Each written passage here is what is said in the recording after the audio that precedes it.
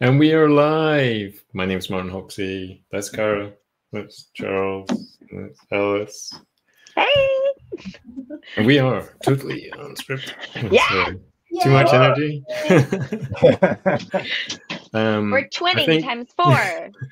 I think we're all still slightly delirious from Google Cloud Next last I week. am. Um, so delirious that my head's not even here. you left your head in Vegas. I know. It is. I did. I left my head in Vegas. I'm gonna turn off. You guys can just see my green screen because I want to wear the hat. I love Represent- Wow. representing. I had to go around and get like a lot of um, things scanned on my phone to get this hat. So Wow. Oh, uh, Things you have to do for swag these days. I know. I know they make you take a test for it now. Yeah, they put well, I went at the on end easy. of the conference, Yeah. so the vendors were just like, "Just scan it and go." I'm like, "Do you want to scan my badge?" Like, no. There- there- There's a little secret in in in the booth world. If you don't give it away, you have to bring it home. That's right. If you go around Socks were so minutes before- popular, there was no socks left by the time that I went around. Yeah, so that's how you get it. That's how you get it. So overall, though, what did you guys think of the show? What did you? I mean, big. What did you guys think? What, given I'm from the UK, the the number of people at the event is larger than the town I live in Like, three. I was gonna say I've been Uh, to your town, Martin. It's not that big. no, There's thirty thousand Uh, people at the next conference. It's huge. yeah. Yeah, no, it is. And, uh, Um, and if you've never been to Vegas before, and Martin, that was your first time, right? That can be a surreal. little- that Um, can- yeah, um, it's yeah.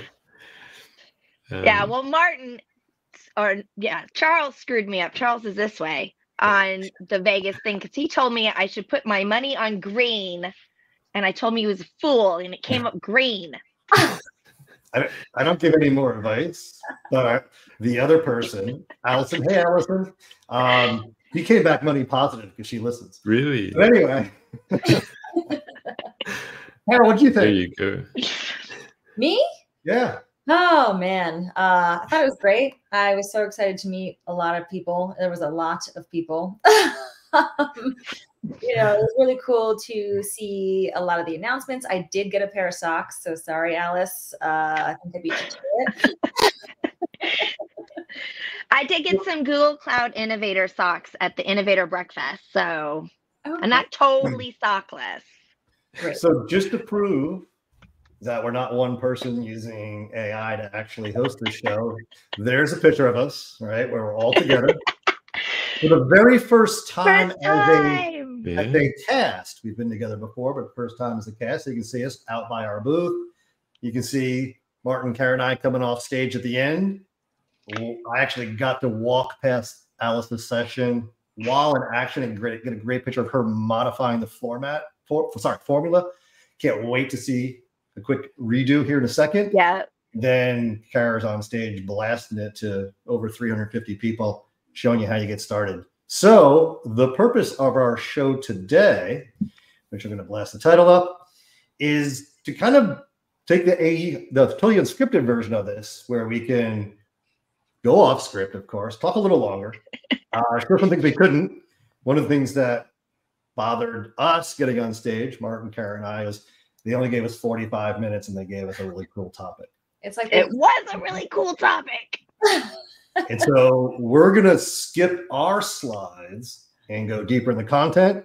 Martin had a shoehorn into three minutes, well, five, uh, and he took seven, but Martin's actually going to show the demo.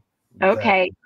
But Alice, your talk, first of all, when I walked past your talk, and I don't know how I missed it from the beginning, but I got to it in the middle, and you made the absolute best case for automating.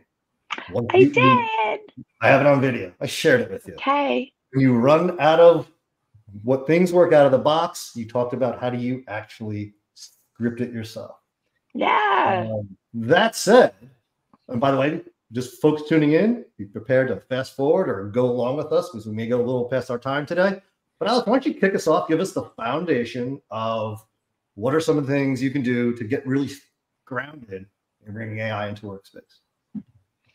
Is, is that me doing my okay? That's me doing my slide. right, right. So my topic. Hold on, hold on. Do it. happened? Do Yeah. it. Do Do it. it. Do it. I I'm gonna have a do it for that because we're gonna let's about- do it. I got it. Ta-da. No, Let's do it. I have that. so for those of you who don't know the joke, I kind of go this little out of order. Is that originally when I put in my session, it was Duet AI for Google Workspace, and then right before we go to next, they've changed it to Gemini. But honestly, no one was really quite sure. So I was chatting with the other champions. Uh, and uh, Google Cloud champions, and they're like, I don't know, and it was it was a big debate. So I left I left my presentation the way I had it. Duet your data. So we're going to unleash AI insights in 15 minutes. I'm Alice Keeler, the queen of spreadsheets. Spreadsheets are the greatest invention ever, but doing uh, manual data entry is not. That pretty much sucks. So ta-da, we can use Duet. No, no, no, back that up. Um, ta-da, we're going to use Gemini. and I personally, I love Gemini, and I cheat a little bit because I have the beta version, so I have advanced features that you're going to have to pay for.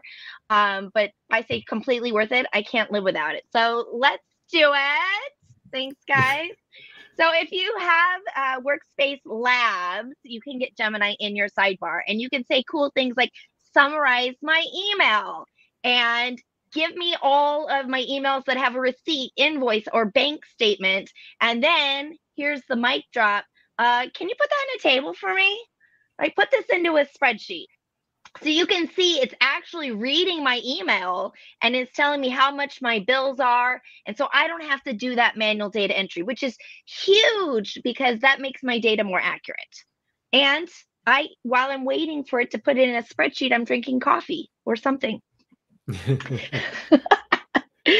I just like there's those, the sidebar, and then you can go to gemini.google.com to actually get a little bit more powerful because right now I think they're not the same version. I just love this little graphic. It's like, hey, I'm looking at your emails, I'm looking at your Google Drive, and it's able to summarize it. And you can see maybe on there that it has this export to, to Google Sheets button. Is that has to be easily the best invention of all times. Of course, I want it in a spreadsheet. And now that I have it in a spreadsheet, what am I going to do with it? Now, we're not going to talk about why I'm working on farm. In fact, I'm on a farm right now. That's why I have my green screen behind me. I'm in a farm office. So I'm working on a project uh, where they have a lot of data. There's 30,000 acres. And it's just so overwhelming to like look at all of these different elements that are on the farm, how many acres, how much you've sprayed it, who owns this piece of dirt. Uh, but I have Gemini sidebar, right? So because I have Workspace Labs, I have the Gemini icon right in the sidebar. And I cannot tell you, it took about 10 seconds before this moved from nice to have to must have. Like, I cannot live without the Gemini sidebar. I now share all of my documents with my account that has this because I can't use my spreadsheets and things without it because I can ask Gemini what I want to know, create me a formula. Now, you guys, I'm really good with a, a, spreadsheet, right? I can make my own formulas, but I can't make them as fast as Gemini can. So mm-hmm. it just really helps me, even if it's like a simple count A right there, right? Equals unique. I can ask for it faster in plain language than I can type it out and get my data ranges. And because it's reading and looking at my data, it actually knows which columns I want without me having to be super explicit. So it's really cool but then also it's a whole conversation, right? So it knows I'm talking about corn, it knows that I want a formula on this, and so then I can keep asking it without giving it the back information that I can design my data info a lot faster, a lot faster. Uh, it's really cool. So uh, you're able to just insert in formulas right in. Maybe you want to adjust them a little bit, but it's really quick and easy to use. So now that I have used Duet. No, I didn't. I used Gemini to extract data out of my Google Drive or out of my email. And I have this spreadsheet and I've gotten some insights about my data in the sidebar. Let's go ahead and build a dashboard with Gemini, of course. so now what we're going to want to do to build a dashboard is usually want to have a different sheet, right? So I have my first sheet is now dashboard and I have my data on this crop data tab. And what I notice is that I'm still able to query Gemini and it knows that I'm looking for information about that crop data. So I'm able to insert in those formulas on my dashboard to build this dashboard very quick and easy. There is a small caveat that it it doesn't yet. I mean, if I could describe Gemini in one word, it's the word yet. It's just just give it a hot second. Like does it tomorrow will. It's it's just constantly getting better. So right now it doesn't do cell referencing to another sheet. So I do have to do that part manually, but eh, that's easy to fix because I got this equals sum filter and I was able to do that a lot faster. So I get a list of what I want to visualize and then the data that I want to get for that. And of course, I can use the charts and graphs to build this data dashboard. And my new favorite thing that I've been using these days is slicers. Those are really awesome. So I can throw those into my dashboard and all that's really, really cool. But you can step it up with AppScript. So I'm able to get those charts, but what if what if I have a 30 acre farm? What if my data doesn't look awesome in a pie chart? What if I have something really special and unique? You all have a farm. You don't even know it. Maybe it's not a literal farm, but you are farmers of data and you have a special way and unique way that you want to merge them together. And the what's really cool about Google Workspace is that AppScript lets spreadsheets and slides, actually all the products work together.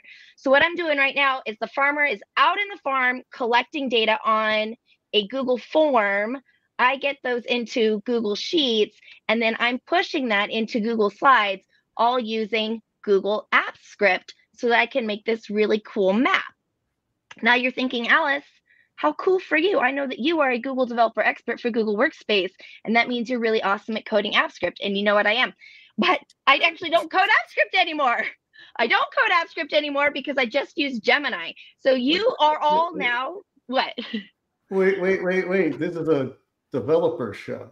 Are you telling me, hold that thought, are Yeah. there use cases where you would also like to extend it with functionality? We, show, by the way. But we have extended our audience, Charles, because now literally everybody is a developer. Oh, I see what you just did. Ooh. Increase Very and, and farmers and farmers. and farmers.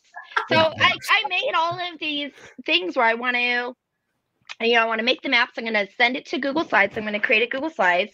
I'm going to shade the county lines. I'm going to place the lines for the different territories and roads. I'm going to put down the corners because now here's something I learned from working on a farm. When you get a when you water it, it waters in a circle. So you plant different things on the corners. So I have to put down the corners because we're putting wheat on the corners, but corn in the center. So I got to put those on there, some special shapes, and then we obviously water stuff. So there's some wells that I want to put on there. So I just put each of these circumstances. I'm like, I have some wells. How am I going to put this on my on my map? And so it generated a good chunk of this code for me. So I was literally able to generate this map, at least at a basic level, in one day. In one day, you guys, there's over a thousand little bits on there. Yeah, it's taken me a few more days to refine it but I can just add buttons to it. You don't even need to have somebody look at the code. I use Google Drawings. So I go to insert, I say insert a drawing, I create this button, and then you can assign the app script to the button. So your whole data dashboard now is super specialized with this code that you didn't even code or that you modified. Uh, but mostly I just do a good job of describing what I want to Gemini. And then it's going to send those visuals the data from the spreadsheet over to Google Slides and I have that really unique map that matches the data in real time. But what's cool about this also is it's Google Slides, right? So it's easy to share, it's easy to display. I can put it up on a TV, I can print it out. Um, so here you can see that I put down the background. I push one button, it puts down the shading in the background. I push another button, it puts down the corners. Push another button, it puts down all the places that I plant some corn all right, cool. But what if I change what I'm planting? So when I came in here, we were making this map by painting it with the paint can, which is takes a long time. And now what I literally do is I just highlight my column, my column with the corn, plant, uh, wheat, Milo, whatever, and I just pick. Okay, I'm gonna plant everything to Milo. Don't ask what that is. It's just purple. And then I push one button, and ta-da! My whole map is now updated based on the data in my spreadsheet. So the magic sauce. I hope that I've convinced you that the answer to all of life's problems is not a spreadsheet, but rather Gemini using dashboards and app AppScript. That's it. That's all I got. and breathe. Amazing. Amazing. Isn't that amazing? So, first of all, obviously, you know, you've always rocked spreadsheets in the past.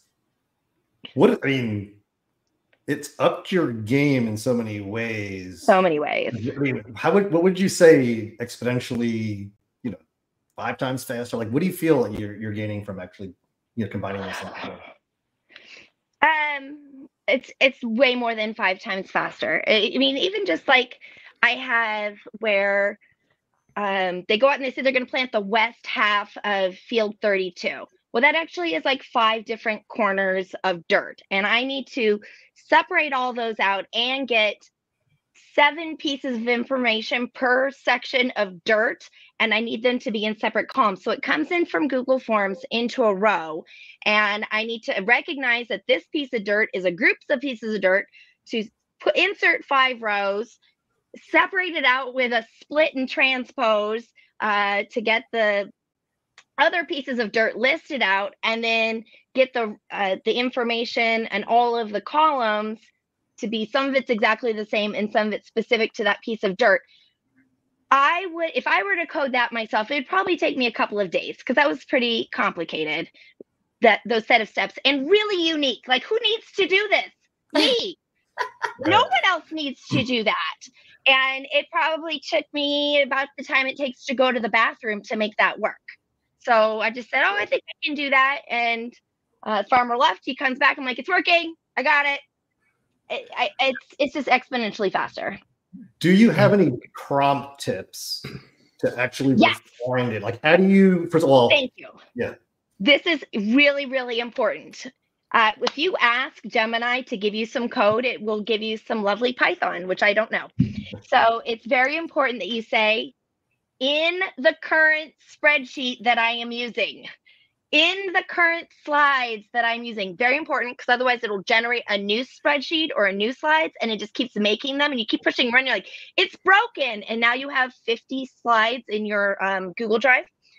And then you want to say using Google Apps Script. So in the current spreadsheet, using Google Apps Script, I want to do these things. And when I started making this presentation, this wouldn't work, but it works now, is I can take the link to the specific spreadsheet, drop that in there and say, summarize the data from this spreadsheet. Here's what I want to do with this data. And I say it in real language. It can read the tabs for me and it can actually do a lot without um, me having to actually be in the spreadsheet itself, that it'll give me the code. Yeah, absolutely. I'm just going to do a, sh- a, shout out to Jesse for a second who, who tuned in. And I'm sorry I put that on you.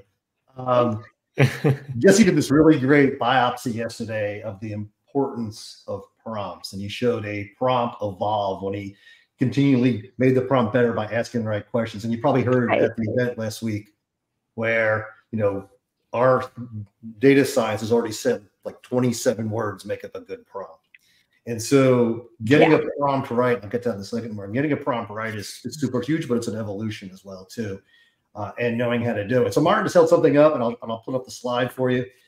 Uh, sorry again, Allison, it covers you. Um, Gemini for Google Workspace prompt guide. If you check it out on that link, it's actually a 45-ish page book that really helps you understand space environment. That also is not just using Gemini on the panel, but also will help you when you're actually doing some coded solutions like we're going to talk about in a second. So uh, super neat things. Alice, anything else specific that that you think well, you know, and it doesn't hurt to know a little bit, right? Know, I, if you know enough to be mm-hmm. dangerous, um, it's because the more that you can explain to it, like I want it in a loop, or I, I create me an array that does this, it, I, I'm going to get better outputs. Um, but just being mm. really specific about what you want and referencing what mm-hmm. you want, but in, definitely tell it what you want it to code in. yeah. I, I think as well, I find knowing where to ask it and also so, as in um, Google for Workspace has the Gemini integration and then you have gemini.google.com. and knowing which one to go to can save you a bit of time. For That- AppScript stuff, I go good. to gemini.google.com. But the other, I think, real challenge Oh, the sidebar will not do app script, just so you yeah, know. It won't. the the rate of pace in terms of change is so fast that Yes. Yet. Something Yeah. you thought wasn't possible one day is then possible When- the next day. When I started asking prompts of slide app stuff a few months ago, it's like, what's a slide app? And, and, now, Yeah. and, now, and now it's actually it's better. One thing I will say, and I do this a lot What Well, made this map for me. when I'm doing code snippets, and again, Alice, to your point, knowing a little. So, for example, when I say I'm asking about arrays, I say in JavaScript, not AppScript. Yeah. Because there's just the, the, the LLMs have a larger corpus to go through for JavaScript, obviously, Right. than AppScript. And so if I know it's generica enough to be, you know, ECMA, you know, a- JavaScript, then Yeah. I'll ask it there. If it's specific to the spreadsheet or to something, I'll, I'll rephrase the question. Yeah, that's a really good point. I do the same, especially for things like regex, which you'd think are. Evil. Gemini no does an amazing job at regex. Yeah. Yeah. Oh. All right, are we ready to turn the page? I just would like to say that you guys had the best session at Next. It was so good. You were obviously had practiced a lot, but your content and everything was amazing. So I'm super excited to see it again. Aw, thank Awesome. Awesome. So we hope we hope it's as good. I don't quite know if we can bring that energy, but we'll give it a shot. Yeah, Um, a hard act to follow. that, that was delicious. That was delicious, and that's because you're a farmer now. Um, but real quick, uh, Kara, take us in. Take us into this. Yeah, so we are skipping slides, right? We're just jumping right. We're not in. even doing slides unless you tell me to go through them. Perfect. Okay. Let's go into our first farm field. trying to stick with this analogy. and what we want to do today is just like dive deeper into the demos that we did show during our session. And you can watch the proper recording um, to see the slides and all the context around that. But uh, I would really like to talk about the demos specifically. And so here on this farm, we've got uh, some data about customer reviews. And it's funny because this this demo came from you know charles and i having a, a casual conversation about like oh gemini is so cool like all the things you can build with it and i wonder if you could do a custom function and so we got off the phone and within 10 minutes i pinged him and i said i got it it works yeah, yeah. And if you, if you saw our live session, and again, I just flashed up uh, the URL. I literally said I was blown away by what she built, and then I looked at the code and I was blown away by how little it took. It was still amazing, I but, it- tweeted that. but the amazing part of it was just, I think, draw jumping. It's just, it, it was amazing. So let's let's break it down here. You want to you want to, you want to take us through it a little? I'll drive if you talk. Yeah, yeah. Okay, great. So um, what we've done is we've built a custom function that allows users to basically enter their prompts into a spreadsheet about the data that they are already in the context of. And this custom function here that Charles is pulling up is called equals Gemini. You can name it anything you want. And we've given it just two parameters. One is the data range, and we're just going to select this uh, sample piece of data for customer reviews, which uh, he's working on a absolute reference for that because uh, he's far more polished than I am with these things. and and this is you know the first piece of data that you give it goes into the prompt and then the second parameter is just going to be any question that you want to ask it and this is great to let your users you know prompt gemini but you can also add some front loading or even have a third parameter um, that you that, that you hard code and say okay it needs to be in this format. It needs to be in this context. Don't use these brand terms whatever you need to do with your data. Um, you can give people the free range of, of adding in a prompt but also add some stuff that maybe you wouldn't want to have to repeat every time. Um, and as you can see it, it, it's super fast. It works really well. All the responses are just using the data range that charles gave it. And you can ask things like have we gotten any ne- negative feedback? And it'll say, yeah, and here's what it was. I have to say, Um, you, you showed me this, and then the following day we were doing a, an event review, and we had Google Form survey data, and I looked like a total superhero. I basically ripped off your work. Fabulous. I love it. That- that's what it's here for, right? And you know, to the point of that, and I think uh, I agree with the Kara that involving the user in the spreadsheet to use their own knowledge, their own language, and involve them in the the prompting process. You know, out of the box, Gemini is amazing. Mm. Right? We know that we've seen that already. It's very impressive, but this allows you to kind of couple that, protect the user a little bit from having to think about it. It's like in the case here, you know, we just did a simple drop down when we took the same prompts and you know we can run it here and then i can just come up here and go gemini. And notice again real easy and again if folks have done this or by the way the other great thing is you can use define range names which is i prefer to do but typing up here on this keyboard i'm not as nice. But anyway when you do this and so now you again just like you saw what alice talked about you can turn this into a mini little application and the user doesn't have to think you can pre-prompt them or you can let them again go there and just put their own prompts in Yeah. And to Alice's point about the importance of prompting, you'll see in row seven here where it's asking for a uh, formula.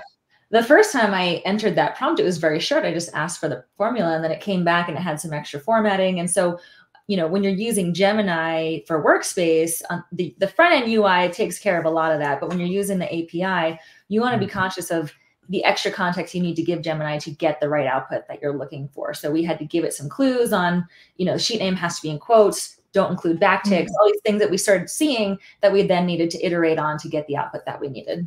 yeah absolutely. So what's the bad news kara? What, what did we find that kind of we want to avoid people going away from which anything i mean processing's pretty fast. I know one that stuck out with me are things like this we noticed and again we're just passing in a range of data if you notice one two five stars cool uh-oh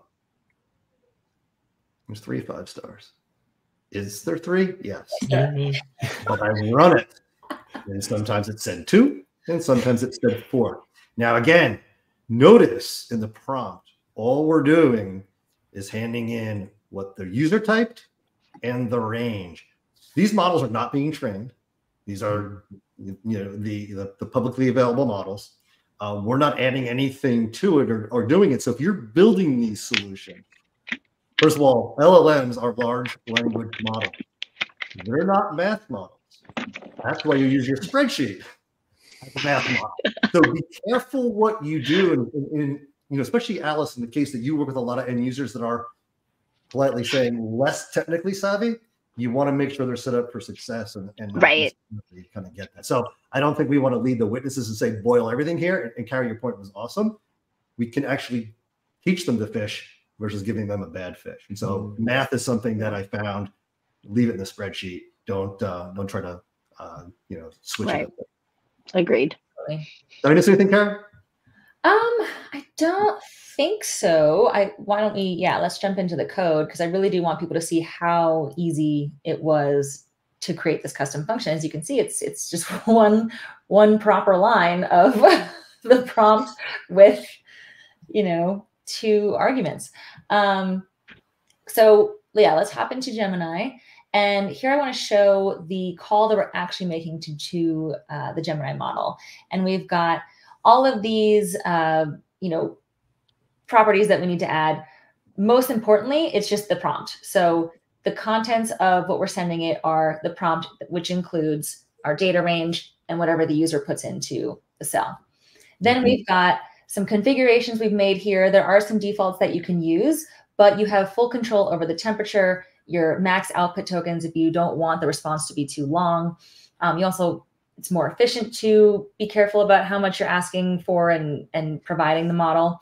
And then some safety settings. We are blocking none because we're just, you know, cowboys. But if you have data that you want to make sure doesn't uh, cross any lines, you can put your safety settings higher or lower according. Yeah, absolutely. And you know, you know, pull Alice into this. I mean, safer school, right? You want to make sure. Again, this is not a required setting, but a best case is, you know, I guess you know, K through twelve. You know, keep it light, right? So um, yeah, good point. Yeah, and then you know we're just we're converting the payload into uh, JSON and then just parsing that to uh, to get what we need from the response. Um, oh, you know what? Important here, API key. We're accessing that from our properties to not expose it. Well, Copy it. expose it. That's fine, I guess. gonna go ahead and delete that one later. I, I think at this point it's probably Showed worth. it all. I think I think at this point it's probably it's probably not a surprise. It's Google. Why have one way of doing something when you can have two? yeah. So, and I found this initially quite confusing. Um, so you can go to Google AI Studio. This is where you can generate these keys and, and use Gemini. Um, Google AI Studio is really designed for testing, prototyping, you know, kicking the tires. You got a nice interface that you can try prompts before you get the code. And then Vertex AI in Google Clouds also has G- the Gemini API, and we'll talk more about that later. But that's where you can do stuff more securely. Your your it's your data, but Mhm. when you're doing stuff on Google AI Studio, you keep in mind that that data is has its different privacy policies. So Mm. Yeah, that's a You want to great. check out the terms. That's a great point. And you know, the other thing which is interesting is here is you know, first of all, we're going to show you a series of demos. None of them were using custom models on the back. You're right. There's different times when you're going to want to be able to call different ones. In fact, Karen, you have a great explanation here. Why did we do it this way and not the other way? Yeah, so here we're using the generative language API, which is not Vertex. This is directly calling Gemini, and the difference is that it doesn't require the uh, OAuth scope that that would trigger user authorization, and custom functions don't support user authorization. It should be, you know, very lightweight. You don't want to have to have them authorize anything, and so we went with this one to keep within the bounds of a custom function. Now there are workarounds you could use to use Vertex AI, but you would need to, um, you know, add something like a custom menu or a custom button to trigger that off, cache it, and then uh, be able to use it in your custom function. But to, but it's more of a workaround. If you just want the straightforward custom function, you can use generative language API with the API key. But to Martin's point, you want to make sure that you understand the implications of using that one versus Vertex and how the data is handled with each one, which is available in the documentation. Perfect. Now, hopefully, this will be the last URL fetch we talk about. And teaser, you must stay through to the end to find out why. But Karen, explain the rest of this. The call. Um, sorry. Yeah. on, Karen, explain it. Oh, a curveball. Let's try it again. Uh, we got the API key. Now, how are we going to call the model? Got the API key. We plug it into our URL fetch app call. It's just like any other REST API. So we're adding our API key, our options, and we get that payload back. And what we're returning is literally just the text of the response. Gemini is so good at, you know, especially if your prompt is good, your response is going to be good. So we're not even doing any post processing when we're returning the text here. It's just we're grabbing that text from the payload and putting it right into this, which is, I mean, it's it's incredible how much power we're able to add to this custom function and not having to do much post processing work at all. Abs- Absolutely. And and you get a little bit of static there on somebody. But uh, the other thing is, you know, end of the day, these are just custom functions. They calc when they calc. You can force calc. Uh, you can wrap them around things. You can make compound prompts. You can build really great mini solutions here. Uh, be aware, you saw they take a few seconds. Uh, these can actually incur cost uh, in certain cases, not all, you know, um, more advanced cases. So you want to make sure that you're you're using them appropriately. But the neat thing is that was brilliant, and that was brilliantly easy. Yeah. It's your point about timing out, just FYI on the 30 second timeout for custom functions. So if you run into that, that might be one, something that's giving you an error. Absolutely. Uh, so the, moving on to the next one, and again, shout out to Nathan Gammy uh, from Kara's team, uh, tech writing team, who actually originally conjured this thing up.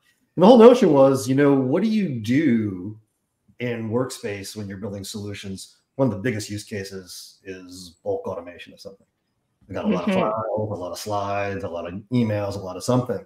And so the whole notion is what can I do here so I can bulk leverage AI versus a simple uh, call. And so what we wanted to do is actually show how you can use a editor add-on. And by the way, um, you know, there's many different ways that you can actually create these solutions. Anybody who's seasoned watching this knows that we've got custom functions, editor add-ons, workspace add-ons. We got a bunch of others we'll show you, um, but there's a lot of different ways you can actually push these out. This is specifically an editor add-on for a couple of reasons. They're perfect. Thank you, Martin, for pulling that up there.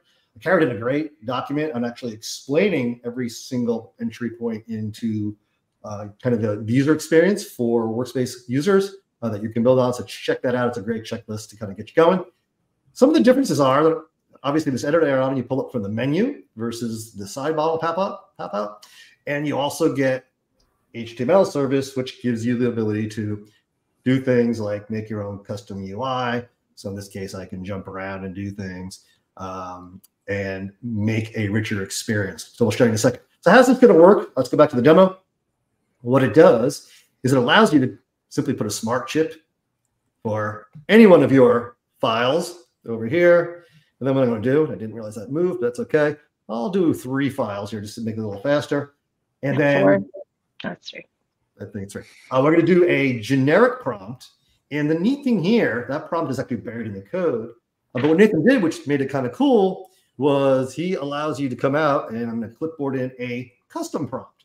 So it's going to run everything twice. It's going to take a little longer. So I'll kick that off now. I'll explain what's going to happen in a second. Uh, but neat thing here, he did here, he's created a new page. He actually has the uh, a little nice graphic to let the user know this is going to take a while. And while's relative, but why the editor add-on is so beneficial is you have a longer window than you'll get in the hmm. workspace add-on to do this. So that's one of the first reasons we're here.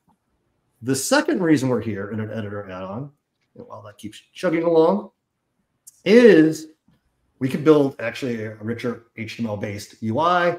We wanted to involve the user in the process of actually tempering their expectations here. So if I want tighter summaries or more creative summaries, we put a slider in because if you uh, are uh, pretty savvy, and by the way, it just came back, you can see, uh, you've noticed that a slider is not one of the options in uh, a workspace add-on. So here in an editor add-on, you can get it. Uh, the next thing is when we built most of these, you know, Gemini was a 1.0 and the token window was smaller.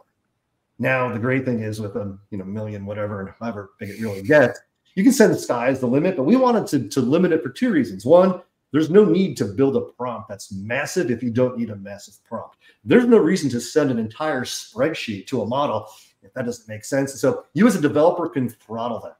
Um, you want to make it more realistic. You may want to make it faster. And obviously there's a cost when you're sending more content back and forth and so you can control that. So um, again, we just mimicked what Vertex AI looks like and we use those settings we also can do cool things like hoverovers, which again, you can't do that as well. I could explain that better by reading that. Um, right inside of the panel. So first of all, let me kill the panel off and notice it came back. I didn't show you the documents, but take my word for it. But it's nice. You can see I got the prompts back in two different ways. Here's what we got directly from the built-in prompt. And here's the one that we did from the perspective of a tech writer. Tech writers think differently. We know that to be true, right, Kara? Uh, so you can see, uh, you can see it's nice and it breaks it out and it puts it in a different way. So a great, a great simple way to automate things. So you can crawl a drive directly or put files in a spreadsheet, etc. Any comments, thoughts, anybody?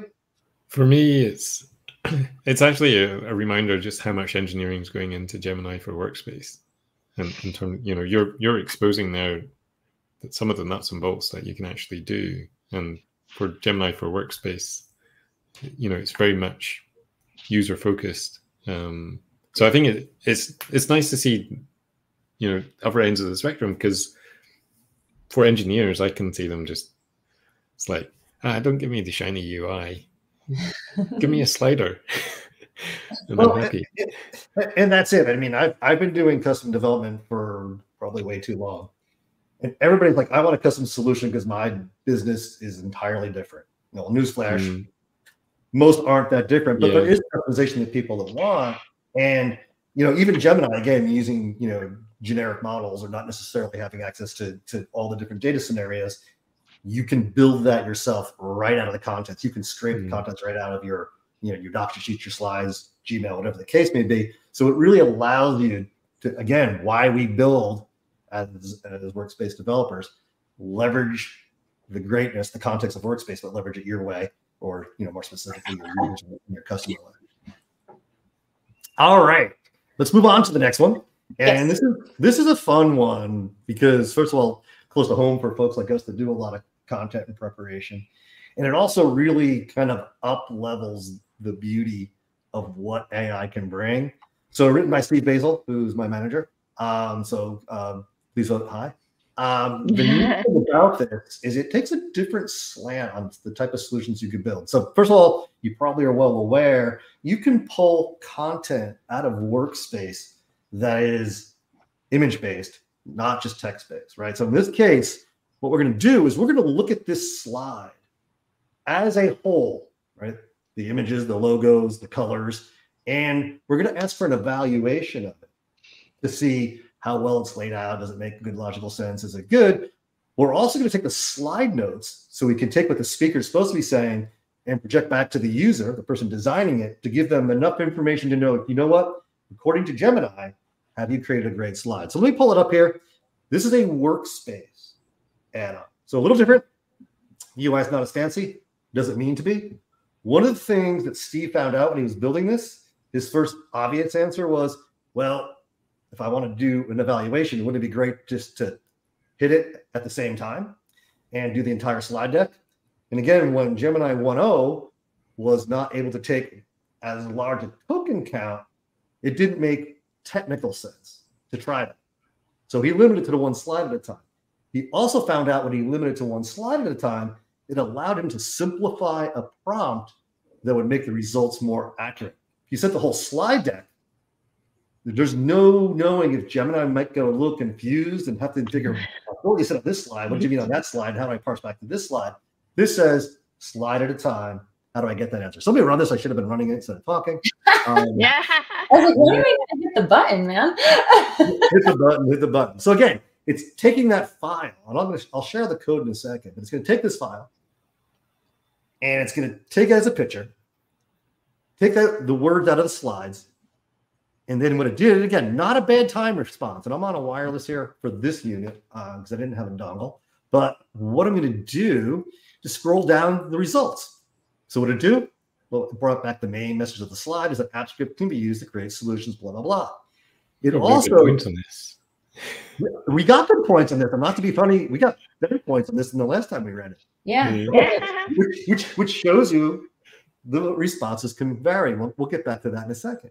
Um, but we also have four different settings on what we're asking it. And again, is the slide simple? Is it colorful? Does it have great structure? Great use of graphics and icons? And my little joke, can we dance to it? But um, folks old enough to know that reference.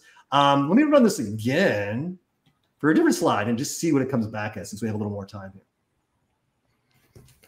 And While you'll notice a couple that- things. First of all, you might notice better scores. Thank you. We actually have the code is available for this one today. So Martin's going to put up the code here in a second while it's running. There's also a great video of Steve talking about this. Um, and there is a blog post on it. Now you'll notice two things. One, our score is dropped. So we don't take that personally. But notice the format came back different. And this is a great lesson to learn. Again, it's I won't say garbage in, garbage out. This is really useful, but you have to be explicit, implicit, and explicit on what you're looking to, to get in the prompt in terms of not just the content, but how you expect it. Because your job as the developer is to parse it, obviously, in a way that's repeatable and predictable for the user. So this obviously needs to be tightened up a little bit. But let me skip to the prompt for a second and show you. This is probably one of the more elaborate prompts that we got. I'm going to go full screen on this prompt for a second here uh, and to show you what it is here in the slides. In fact, I could probably even skip the code to be honest with you because the prompt is the most exciting thing. So you'll notice it does that, that notion of tell me the tasks, give me uh, the, the definition, what I'm looking for, the context, um, uh, the rules, and then give me that output, the format. And so the task is very simple. I want constructive feedback on a presentation. Then you say, well, you start by giving me the main message of the slide. You saw at the very top, we got that main message.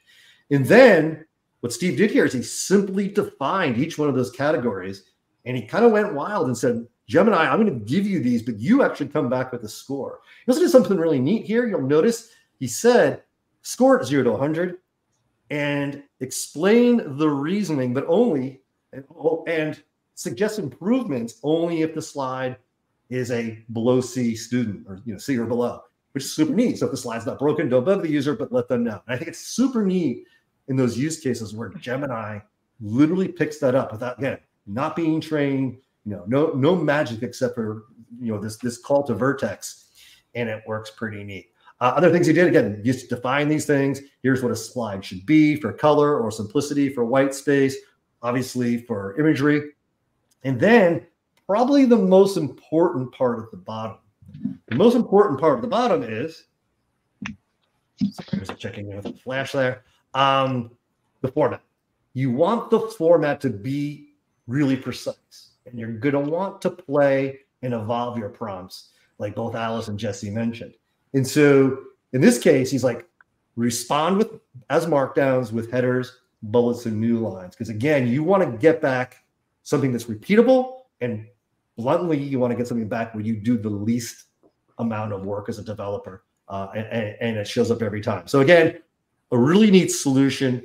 I, I think again, this is really tip of the iceberg stuff. We're still learning how a lot of it's working, but that's pretty crazy and amazing at the same time. Yeah, and if you to, to your point about format, you could also include an example of what you want a response to look like. Mm. In, in a situation like this, you know it's going to yeah. look a certain way. You could provide that in the prompt to help Gemini give you the correct format that you're looking for. Yeah. Anybody else? Martin? I see you guys all smiling. I feel like you're having back chat.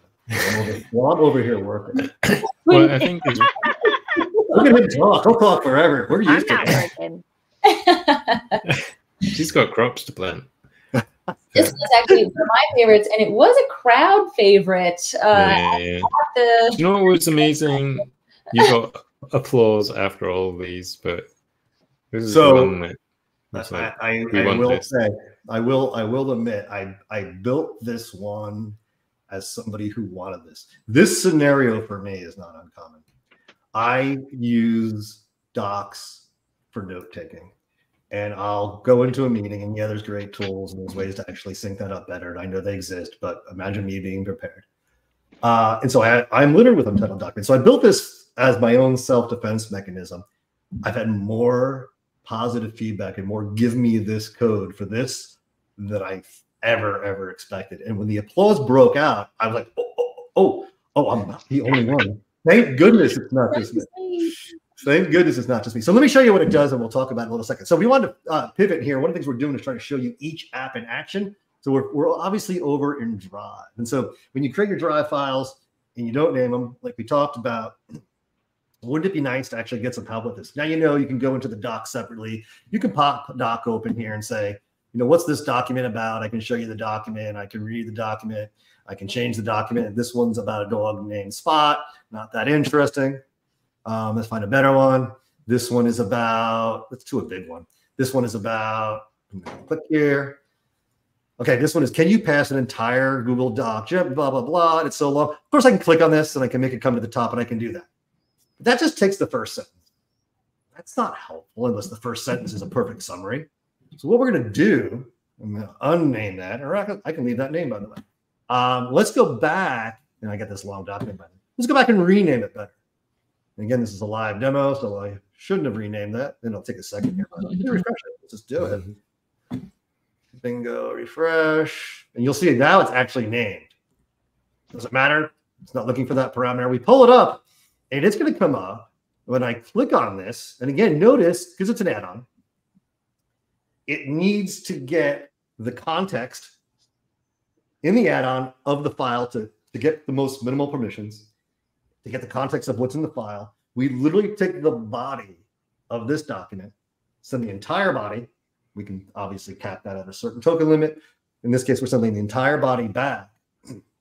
It comes back with a summary and three really good names. And so what I can do is simply come down here and I can accept. Again, this is actually even better than the default one. Or I can take a different one. So you know what? using Gemini with AI, rename it right there. If I don't like any of those names, I built a little refresh button in, and you can see how fast that works. Uh, there's other use cases which are neat. I love this one. Say, for example, the document isn't worthy. There's the spot one again. Got one over here that's a little shorter, I believe. Let me make sure I get it right. And you see it's actually pretty fast and pretty responsive. Mm-hmm. And these are good names coming back. But what if I find one? Gemini's like, you want this document? and, and, the answer is no, right? So I built this document. I didn't really do anything with it. I didn't plant a garden and nothing grew. Uh, so with the, with the farmers. And so I can, without opening the file, reading the file, understanding the file, say, and she gone. And there she goes. Yeah, that's one of my favorite features. I have so many empty documents by accident. Yeah. Right. So it's a great segue. The great idea is giving. There's so many favorite features. So many people ask for this. Do not be surprised. And this is not a hint, but do not be surprised when features like this and the custom function, mm. even the rate my slides end up in Gemini for Workspace, right? We're mm. creating things, it's evolving.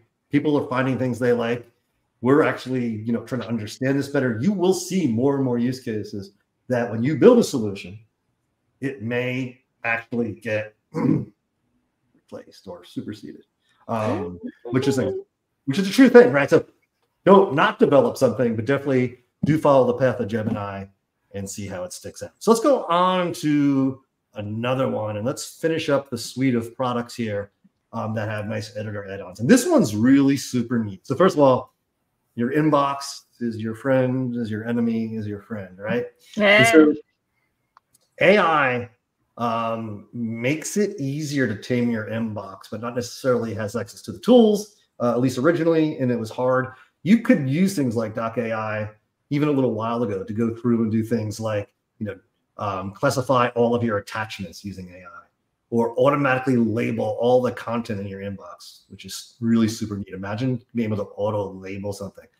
This is a great use case we're going to show you here where you can run a sentiment analysis in other words, you can quickly take, say, for example, we put some settings in here, take the week's last emails, and again, your mileage will vary about how much data you have or how much you want to send back, and then simply go out and tag, well, first review, but then tag any file that may have something that you need to have immediate attachment to. So in this case, you'll notice here that it just completed. I'm going to refresh the screen just because sometimes they'll pop up super fast.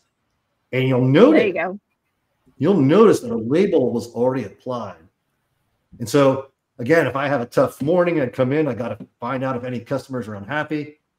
I come in here and visually, I can see that Mr. Jeffrey Clark is not as happy as I need him to be. So let's take a look.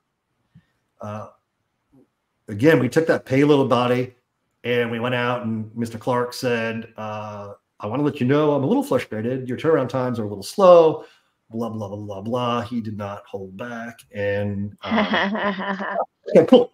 So, a couple things. Real first, when I scanned all of those mails, first of all, you have to manage the size of that. Second thing is to do that. If you're familiar with the add-on model, you get least privilege. You only get access to the selected email at a time. I literally opened up this inbox. In other words, I went for the most open scope which is really easy to do in, in your internal environment. If you're doing that in your external add-ons, that's super, super, super Casa hard. Review. You're you're deep in the Casa review, and, and it's probably not optimal because as a developer, having access to some of the whole inbox sounds quaint. It's super dangerous, and your, your lawyers aren't going to like it any better than ours. Anyway, so again, you could probably run that outside of an add-on, um, but I put it in the add-on just to show how cool it was. Back to the model. So, so Mr. Clark is not happy with this. So what we want to do is we stole all of our information in Jira. So notice, obviously, when I click on this email, I can read it, but also I get all the information back. I can see who Mr. Clark is. I can see his email address. I can see when he sent it. I can see he's got some challenges. What we did is we showed here how you could combine third-party data. And again, we're going to do some calls to the Jira API. Look for the tickets that we have access to that match the description that we found in the metadata, Mr. Clark, and then go find every instance of every ticket that Mr. Clark is actually attributed to. We took those tickets and compiled a list of all those tickets. And by the way, that was pretty fast, both Jira and Gemini. And that's a live model. I did not actually make this up. And notice we had some fun by putting some graphics in there so you can quickly see, you know what? This ticket is fine. But if you look up here, uh, Mr. Clark and Kara, who's working on the deal, are not so happy because it hasn't been resolved. We get a little summary, and then we get the big summary that took about eight comments, put it together. Uh, and basically it says, I didn't get to it, uh, and I'm the problem. So, oh, Charles, stop me if you heard that one before. And then what you can do using that exact context and content is either craft a new email or add to the body of a response that you have existing. Here, let's craft a new one where it addresses this, pulls the content in, personalizes it, doesn't do everything there. For example, we didn't actually get the customer name um, or your name. Again, the notion there is make sure your users review it because AI is good, but not perfect, especially in the court of law. And so you want to make sure that you get that. But that to me is a neat way to tie in everything quickly. So your workflows of toggling and looking up and finding and help me type and all that, which things are you can do a lot with Gemini, um, you, we bring it right to the user.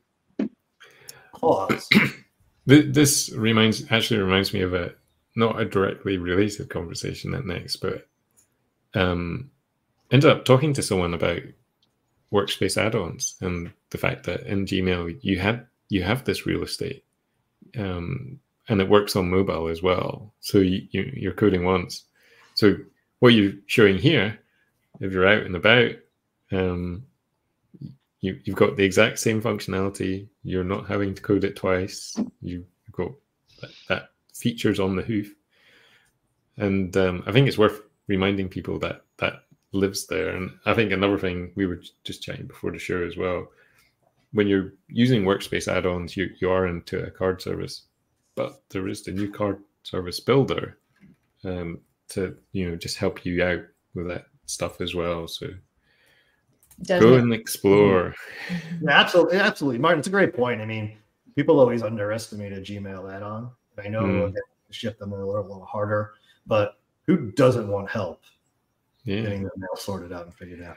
Anyway, in terms of a use someone. case as well, if you're mobile, having a button that you can click that can quickly give you a summary of something, yeah, for you to decide what to do next, and then another button to draft something for you to review yeah. just, you know productivity just yeah so and, I mean, and you you pointed out i mean i think the number one use case that we saw evolve inside of gemini workspace was summarizing.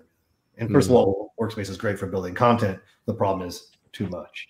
And so um, i agree with you that that use case is persistent everywhere which is a perfect segue for this demo.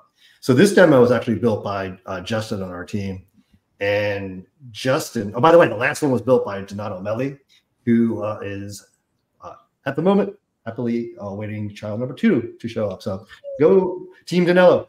Um, Donato. Um, this one's super neat because the again the use case is just so brilliantly obvious. So Justin came up with an idea of taming the team stand-up report inside a chat. So for example, you know, folks want to come out and contribute a, you know, uh, what they worked on this week. So if you're familiar with the stand-up process, everybody tells what they did. And in this case, you'll notice um, every Tuesday, in our case, the way we run it, we have a weekly trigger that simply lets you know, everybody, to put your items that you worked on. So super cool. By the way, I have a button automating all this on another screen if you're wondering how these are popping in like this. And so uh, folks come along and they send their updates. So you'll notice people start working and people start looking at updates. I'm going to actually expand that. And you'll notice Wes and Pierrick and uh, a bunch of folks are putting it, and some folks like to put a lot. so, as a manager or as a team member, even this is awesome, but you may not want to see these all, right? Or you may not want to actually browse through them all. So, once folks are done doing this, we actually use a trigger. In this case, we're using a timer trigger. We actually run it every hour. It simply takes all those threads that belong to that parent level thread, takes the entire payload, and you can see there Wes and Pierrick and Ken, takes everything associated to each one of those individuals, summarizes it into one line, and rewrites it back into the chat thread. So now instead of looking at all this, right? I can just look at this. So I can literally shut this window. And then when the week comes along and people are using this site, they're talking about things that are working and things that are fixing or giving all kinds of stuff. Hey, there's a good one from me. Um, this is neat because now as it piles through and all this stuff happens, what you can do is again, when that next week comes along and that trigger, again, just an Apps Script trigger comes along, and then folks come in and start to send more updates. Same thing works, comes out, folks come in, they apply their updates. Uh, the neat thing, again, everything just works, it makes it simple. But my favorite thing here, the summary is great, but because you're using the chat API, right? Let me actually make that summarize run for a second. Again, without even opening it, I'll get a summary here in a second. And to your point about the summary, Charles, you know what you're doing is actually it's it's running on that hour timer but it's only providing a summary to that latest check-in so you're not re-summarizing every single thing every mm-hmm. hour it's only looking at the latest uh, the latest set of updates and then summarizing yeah. that and not running again that's a great point. and again if your use case is really compelling and needs to be on the activity we just recently released uh, an event api in chat so you can even be a little more ambitious with this but this use case, again, super, super easy, super, super well, super, super logical. And I didn't need to write a lot. Triggers, as you know, are awesome for set and forget and, and make it go. So my favorite feature, again, you get all these things in, you get the summary, but we simply, each time we build out a new one going forward, you capture the last thread. So you can move through all the threads and you can look at this week and last week and the week before, and the week before that, and the week before that. And it's just a great little productivity tool to tame the chat inside a chat. Cool. There was actually, there was a, another great um, chat example at Next, so yeah. which is in the documentation. So we shared it on Pulse recently, which basically turns a chat space into a knowledge base. Um, yeah. So we've had we've had that team on before and yeah. talked about their their their demos. They're they're definitely a different level of demo. So you, are going to have to invest a bit of time in that. But I think the, the result is amazing in terms of and as a starting point to do more within your business. Um, I think it's a great example that you can go away and start doing today. Yeah, absolutely. I mean, you know, a while ago, if you if you evaluated the chat API when it first introduced in the very beginning, a lot of folks kind of you know, looked at it, kicked the tires, and, and kind of ran away. There's been so much investment lately that the solutions that you can do, whether it's you know, you know, fronting it with Dialogflow or just the ability to actually manage threads and expand people. There, there's a very good prompt. Hmm. Uh, capture that, screenshot that, pull down that. That's a great. That's a great resource. All right, one last one, and this came from the mind of Kara. Kara, why don't you actually let us know what this thing's all about? Sure, yeah. So the last one we have is an implementation of a link preview. And this is a newer way to extend the UI, uh, doing so through a Google Workspace add-on, but the interface is actually within the document instead of the sidebar. So I know you hate when I pull that up, but I, I just you don't need you don't need it as a user, but this is just I don't mean this to be funny, it's just an add-on, right? So this is just a workspace add-on with some some slight changes. Yeah, yeah, and that and that homepage is actually auto-generated by Google. So when you're building one of these, you really only have to worry about the design of the link preview itself because that is the main interaction point for the user. what we've done here is we've added link previews for the Google Workspace developer documentation. And when you hover over the chip that the URL turns into, we provide the title of the page and then a AI generated summary of the page. Now, as we mentioned, sometimes you might have unexpected results from the AI model. And so we also added some interactivity where the user can say, "Ooh, this was not a great summary." And when they do that, it prompts Gemini to give us a new summary. And now we can say, okay, this makes sense. Great. Love it. And we can give it a good rating and we can capture that feedback to see how this link preview is performing. Now, one of the things we're doing here, which is important to save on our AI API calls, is that we're caching these summaries when they come through. And we're actually using Firestore to do that. And we're also using a GitHub library for Firestore that I highly recommend. It's one of our, you know, if you've seen our tips and tricks, we recommend using libraries. It sometimes, you know, will slow down your execution your execution, so you want to be careful about that. But in this scenario, it really helped us create um, these Firestore entries a lot more easily than I otherwise would have been able to do it. So, um, oh, we're in the code already. Great. Oh, so I've been following the code along as you've been talking. oh, fabulous. so yeah, you can see how here how easy it is to create these functions that we need. And I really just need to create, update, query, and delete. Because what we're doing, if you go into the main file, is once we get that URL, we're checking first to see if this page is one that has already been given a downvote that the summary existed, but it was bad, and we need to regenerate it again. So when we do that, we look for that summary in Firestore, we delete it so that we can then uh, query uh, the, the URL again in Firestore, and we see that it doesn't exist. And any new ones that haven't existed yet will also go through this process we will generate the summary and then save it as a new store um, in Firestore. Talk, talk, about your prompt here. I will. So, summary. I was looking at it because I love you use the persona, and I'd love to know more how you felt that work. Yeah. So you know, if if you are looking at the prompt guide or any other prompt resources, you do want to give some context to Gemini so that they know you know the style the voice the the way to th- think about your result. And so we wanted to make sure that they knew that they were a documentation expert. Um, we wanted to give them some clear guidelines on how much content to give back. And so to, you know to your point about showing in, in the previous demo where we showed the given prompt and the custom prompt where they were you know give this to me in, in the aspect of TechWriter, you can really see the difference when you provide a persona or some sort of background setting for the model and how different the, the outcome can be. Um, so yeah, so we gave it some some boundaries of like two to three sentences, sentences, short description. And this was, you know, an iteration of, of a previous prompt that was much shorter. You know, at first I just started with, hey, give me a summary of this.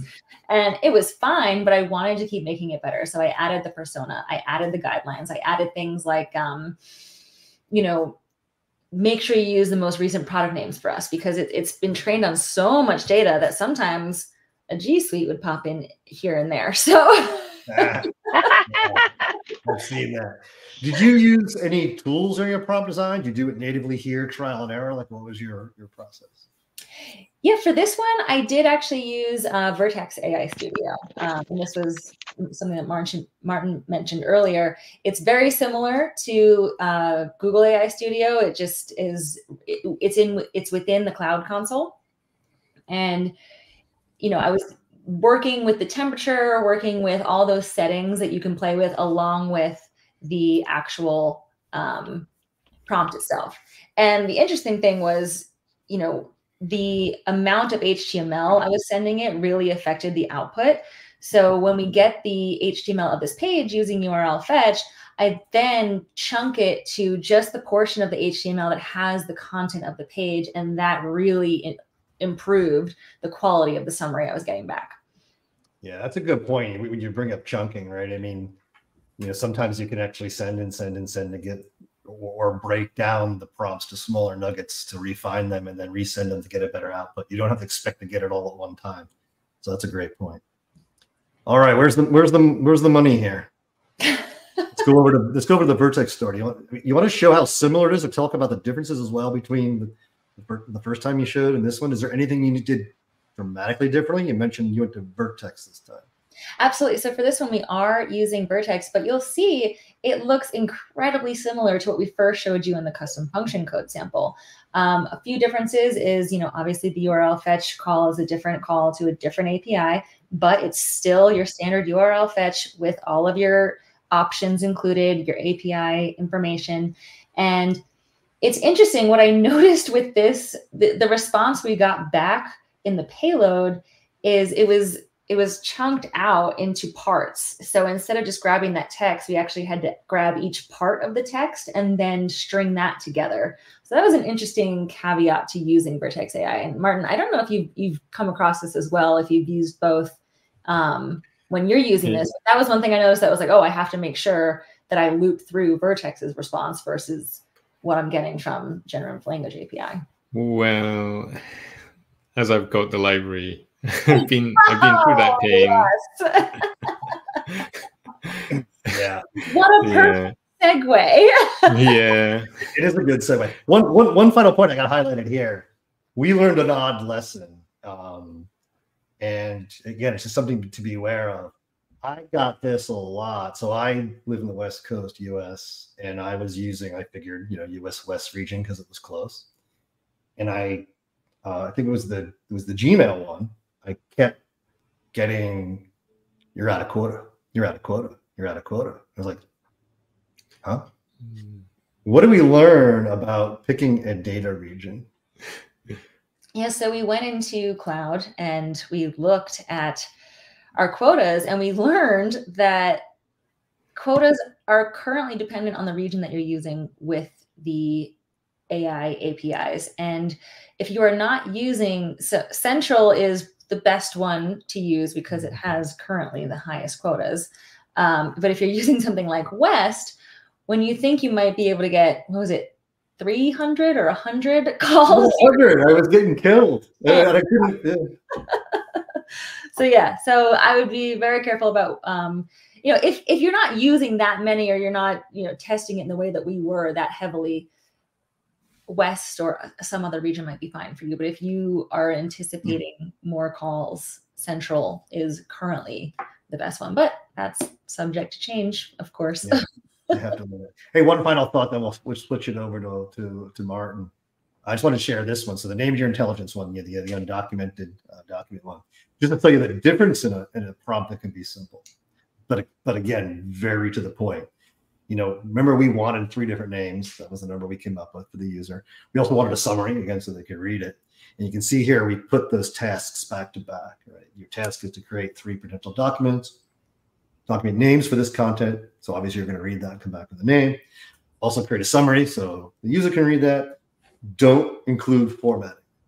Just give us a nice, clean two to three sentence summary. Very important to be explicit. I need a paragraph. I need two or three sentences. Remember, when you're in an add-on, you have a limited size.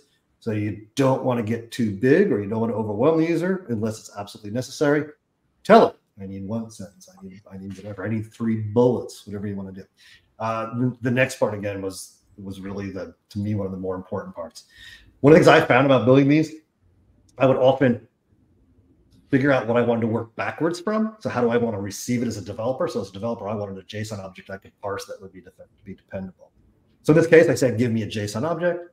I want the first field called names, must be called names. The sec- second field must be called summary. I was explicit and I got it back. Once I get that, and again, so I'm not subject to running a lot of calls back to my um, my Gemini model. I as a, as I'm debugging this, I simply get the response I need. I stop calling that. I segment that off, and I unit test right around everything else that's not the Gemini call. Make it a little bit faster, and obviously not to run the meter on any of these calls. Remember, when you're doing this, there's a cost to running most of these models. Those costs will change, they'll vary. You want to actually be prepared for that cost. Um, obviously, in usage, perhaps even in development. We ran these putting together and we assembled these seven scenarios and we ran these and ran these and ran these. And the, the number I looked at came across was about four cents, four uh, $0.04. and for that was over a period of a, a, good solid week. So it wasn't like we were breaking the bank with it. Your miles going to vary, everything's going to change, but you want to be mindful of it because this is beyond the out of the box, and obviously you're going to incur some of these things. Processing time is huge on this, and so obviously that there's a, there's a, there's an expense to that. There's a value to that. As an Apps Script developer, you want to make sure again if you're running a gazillion custom functions in a spreadsheet, not only is it going to be slow, hmm. but the meter will be running. With that, we showed URL fetch. We showed how to do it the let's call it the old-fashioned way. um, Martin said, "Let me wrap all this up. Let me do it in a new way, and let me do it with something way more cooler." Martin took an old problem, which is making mail merges uh, fun again, and lit it up. Martin, want to show? Yeah. So I've got a bit of a history in mail merges. Um, so let me put this back. Um, so uh, yeah, um, as I joked at next, one of the documentation pages is a mail merge I wrote a couple years ago, and if I had a dollar for every page view.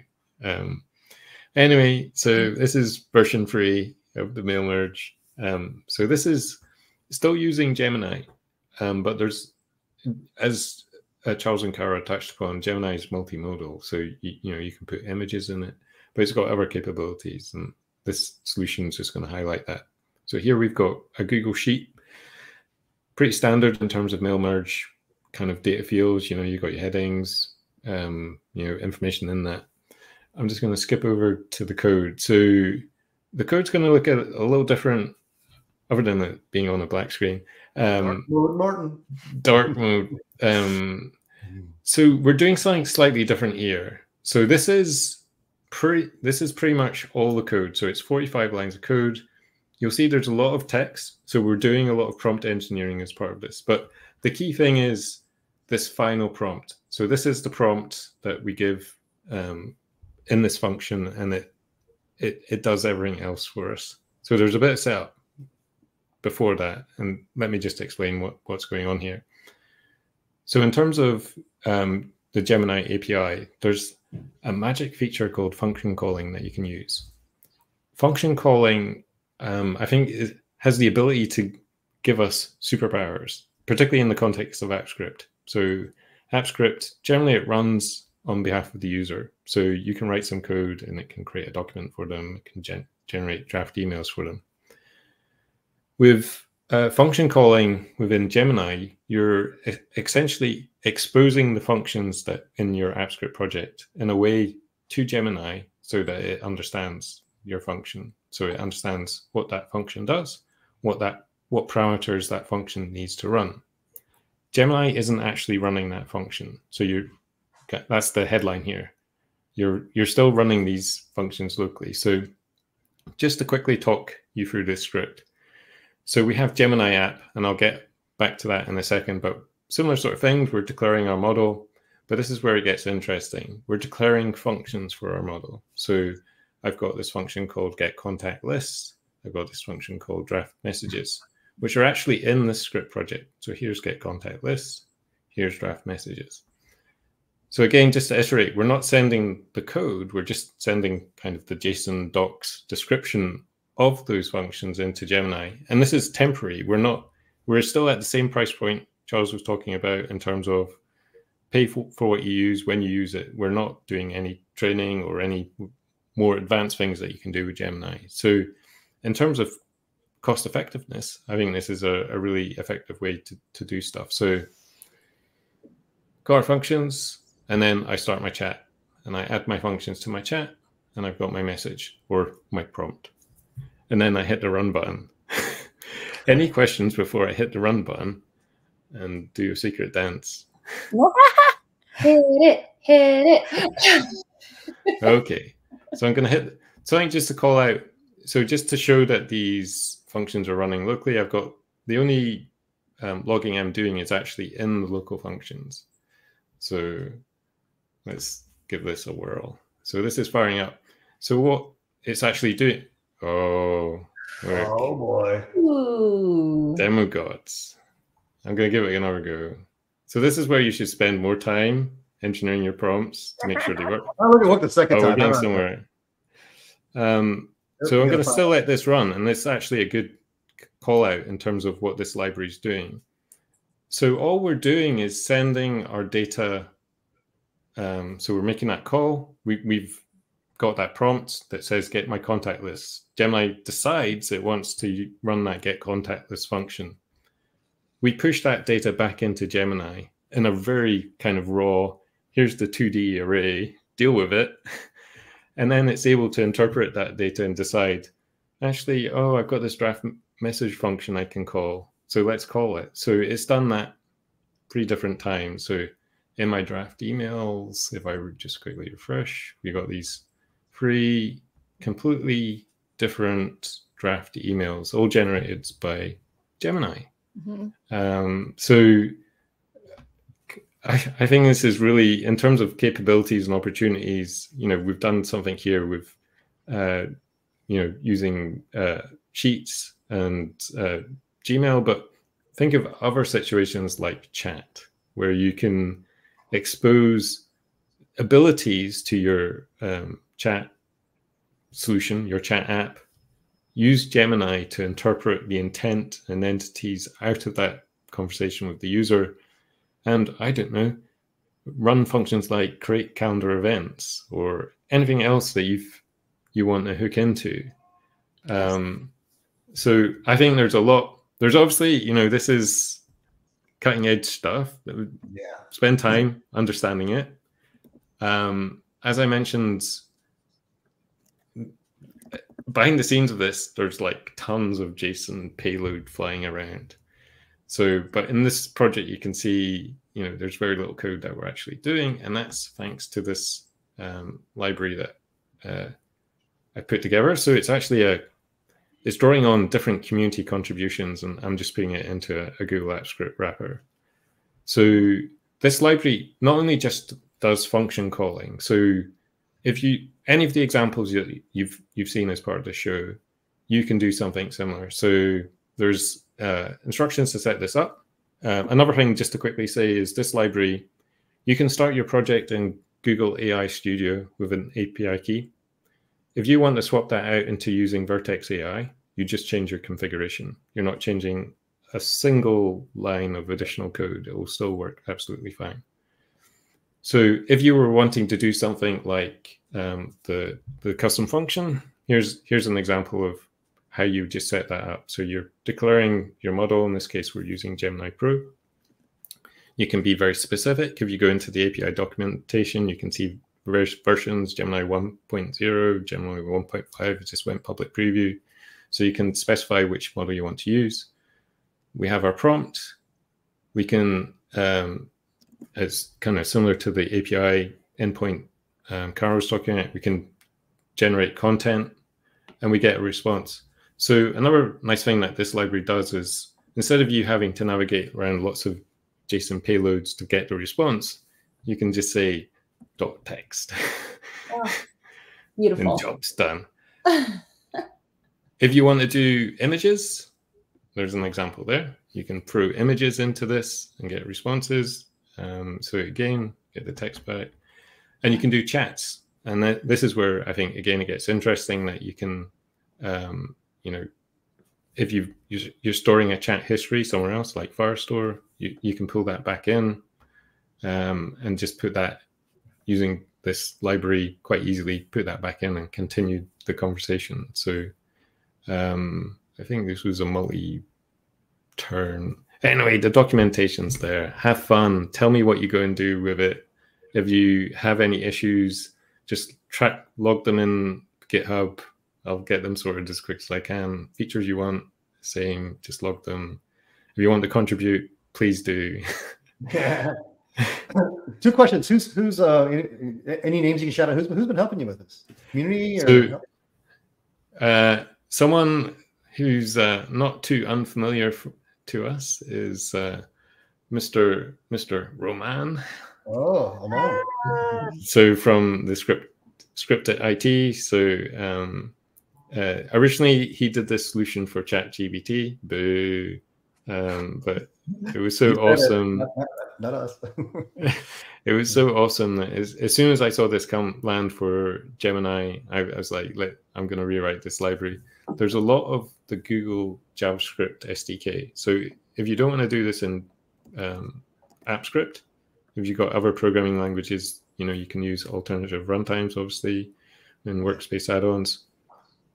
Google have a ton of libraries, and basically that the this Gemini app library um, uses the same. You know, you can go in and look at the JavaScript um, SDK documentation, and these are the exact same examples. I've basically made sure that this library you can take something from uh, JavaScript Web as a code sample and use it here. We're not changing a line of code other than I, I think you go Gemini app. That's the only difference. Great. Any thoughts on where it goes next or where you want it to go next or well, Gemini 1.5, they're still adding stuff. They're still adding features. So the ability, you know, with 1.5, you've got this huge token context window, million tokens. Um, the ability to upload files first um, before you start doing your questioning is a, a, slightly different process. So that's something I would like to add to the library. Um, so, I, and that's you know one of the thing, challenges is just keeping up with some of the features yeah. that are coming through. I noticed today that there's a Gemini experimental within Vertex AI on the on the cloud project. So I've been playing around that with that today. Um, so, uh, but as I said, any people got particular features uh, they they want in this library, uh, they're they're welcome to put requests in or fork it and just do it yourself. Put me out the picture. I don't care. and fingers crossed one day it'll be a built-in advanced service, but oops. Uh, mm. it could happen. Hey, so I, first of all, I want to thank anybody who watched this whole time or watched the whole thing. God bless you and thank you. Uh, the crew. I mean, that was a lot of air. That made an hour and a half, by the way, longest TU show ever, at least in my in my turn um, in recent years and I don't feel like it was that long, but it was. I, content. I, I I think the neatest thing is you saw what we're just beginning to figure out and coming across. It'll be interesting to see where it evolves. It'll be interesting how it all evolves. I was pleasantly over surprised about the reaction we got. A lot of people are like, I mean, you know, was, you know, from nervously excited to wow, I can't wait to do it to I know what I'm doing this weekend. And some of the feedback we got from the original. So that is awesome. Like I said, it's almost like a magic sauce that we didn't see coming. You know, Apps Script's always been Apps Script, but you add this little sprinkling of magic dust that makes it easy to take all the stuff you've got in it and do cooler things with it and things that we've always dreamed of. That's where.